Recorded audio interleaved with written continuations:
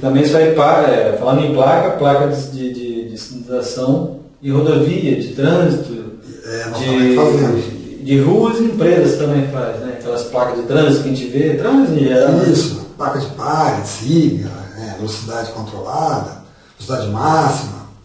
Isso aí tudo a gente faz. Só isso daí já é um outro material. Nós usamos aí a chapa de ferro, chapa de ferro. adesivo refletivo, né? Que é para uso noturno.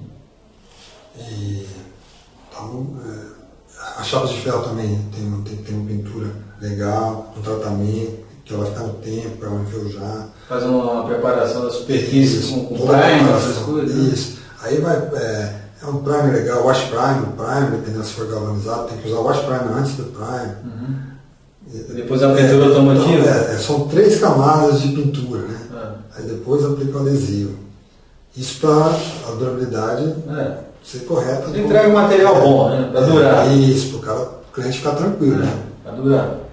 E aí, esse parque de rodovia, se, se, a pessoa tem uma empresa, o empresário tem uma empresa lá, ele quer colocar placa de rodovia que não seja é, de aço, pode é colocar também no, no, no, no PVC, no ACM. Né? Hoje mesmo, é, algumas prefeituras estão trocando isso na área interna, dentro das cidades, né? Uhum. As placas de aço por placas de, de alumínio, de, de ACM. Então.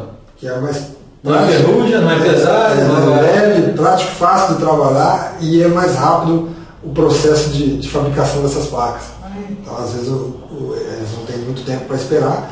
É, então, a gente oferece também as placas em ACM, que substitui perfeitamente, com qualidade show, ótima, né? E o pessoal está trocando. Qualidade e durabilidade. É,